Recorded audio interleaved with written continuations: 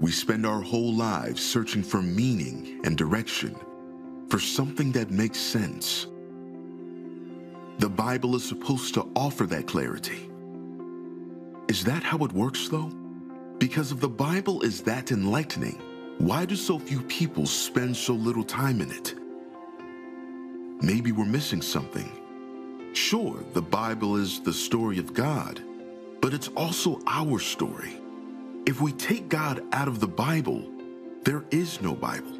But if we take people out of the Bible, there isn't a Bible either.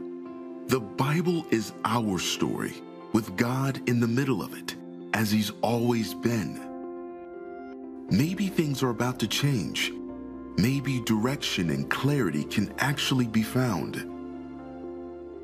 You can go through the whole Bible using the time you could otherwise waste. And you be among friends that might just change everything. Look in the mirror. Remember today, because time in the scriptures are going to start shifting things. In a month, you're going to realize that you're not alone. Look back in the mirror in a year, and you'll realize that the Bible has changed the way you look at just about everything. Coming home, the search is over.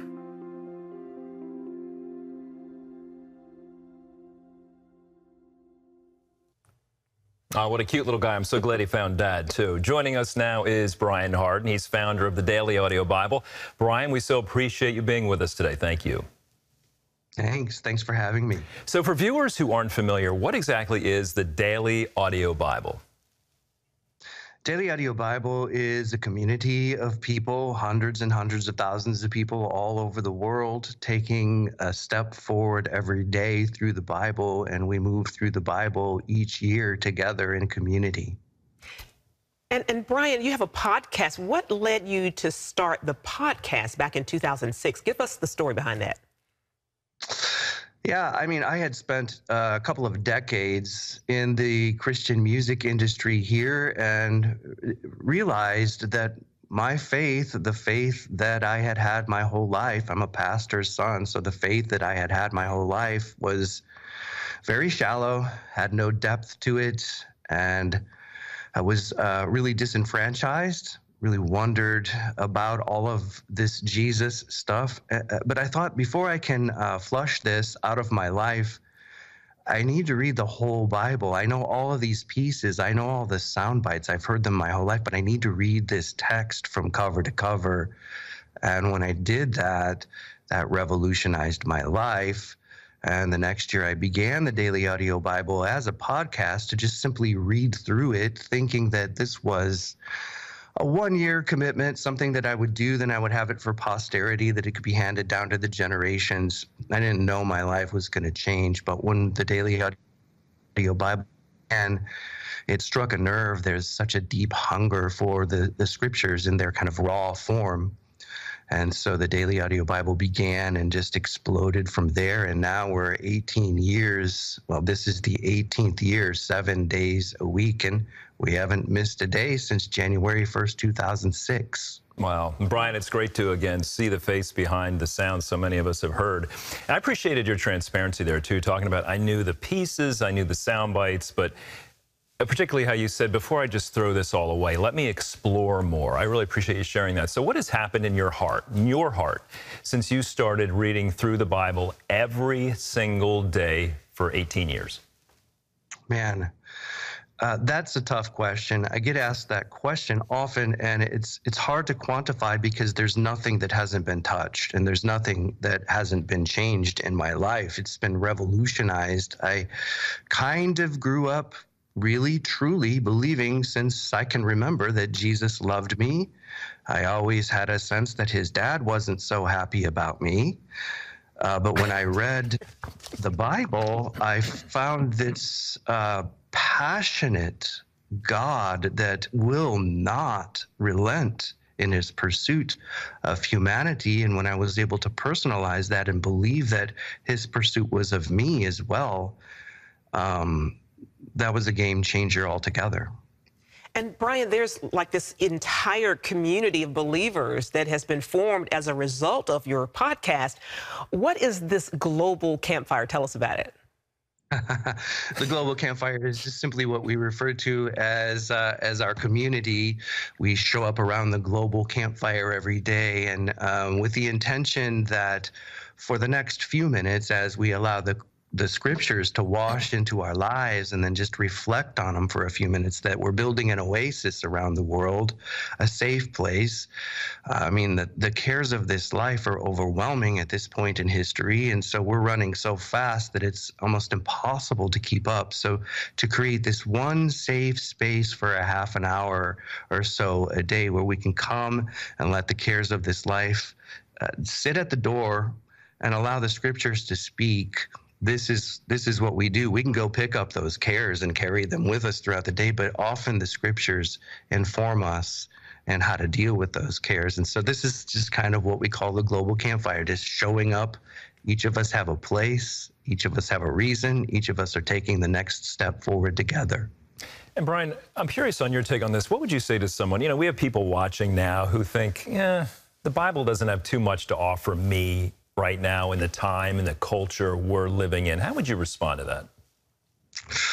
I would say, first of all, yeah, I, I, get it. Like that's that's what I thought for most of my life until I, uh, with open hands, read it. I, I wasn't reading it to try to decrypt it. I wasn't reading it to try to uh, disprove it. I was just reading it with open hands, believing that um, if God wanted to speak, then I was listening. There was no rebellion, and it it it changed everything. And I, I have found over the years that when we read the Bible with an open heart and open hands, then the Bible reads us back. And um, so many of the stories, in fact, I would wager most of the stories in the Bible really reveal things about our own hearts and our own lives and our own motivations. And so I, I, don't think the Bible is this antiquated thing. I think it's the wisdom of the ages. I think it's God's word, and I think it speaks. And if we're listening, then we have eyes to see and ears to hear, like Jesus said. So good. And Brian, your team also does a whole lot more than just the audio, the Daily Audio Bible podcast. Tell us about the other projects and some of the resources that you have available. Well, Daily Audio Bible has a number of communities. So there's, the Daily Audio Bible that I do each day, and then we have a chronological version that my wife Jill does each day. We have uh, and my daughter China, along with my uh, wife Jill, doing chronological together. Uh, and then uh, our son Ezekiel does Daily Audio Bible for kids each day. So we have uh, a number of programs that we're producing seven days a week here. And then we try to resource the community. There's a number of books that have been written that are available, a number of musical projects that have been written and are available. So we're always simply trying to create um, resources that are geared around the lifestyle of having the rhythm of the Bible in our lives each and every day. What do you think is one of the biggest things you've learned since? I mean, I was struck earlier. You said I started out doing this, Brian. I think you said I planned for a year, and now here you are. What, 18 years later? What's one of the biggest things you've learned spearheading this podcast?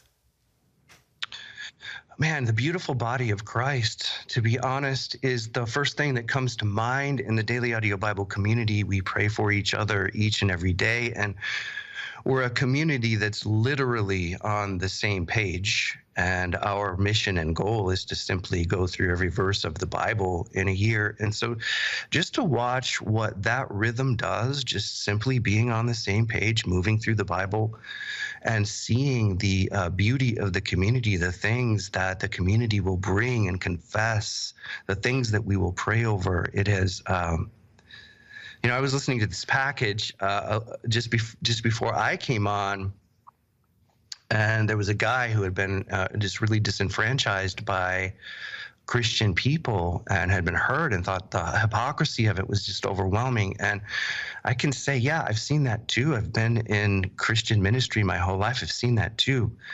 I just don't see it so often in the daily audio Bible community when the Bible is literally the center of everything that we do. I've seen the beauty of the body of Christ rise up, and it encourages and inspires me every day. Wow. Well, we are so grateful yeah. to have you with us today, Brian. You're doing a wonderful work. There is so much hunger people have for the Word of God. Thank you for being with us today. God bless you. Thank you. And if you would like to learn more about the Daily Audio Bible, just visit dailyaudiobible.com or download the app. And there you can find all of their resources. The Daily Audio Bible has everything from books to beanies, so you'll definitely want to check it all out.